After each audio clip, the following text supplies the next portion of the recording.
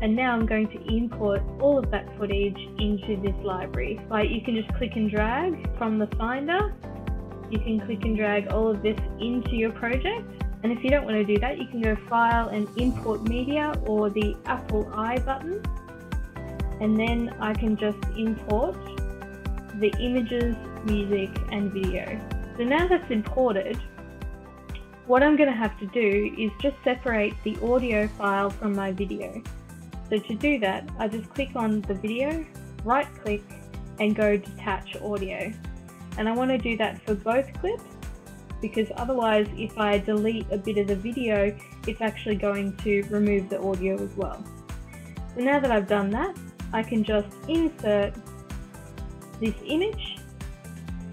It's automatically come up with some kind of effect you can change this in the settings up here, so you can change the type of transition you want.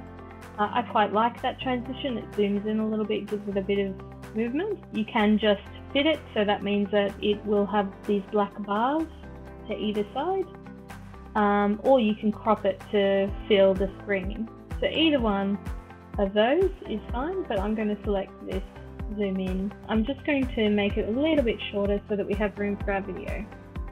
So now what I'm going to do is I'm going to move it in between the two clips and what I need to do is actually remove some of my video. And you see how it's moving the audio as well?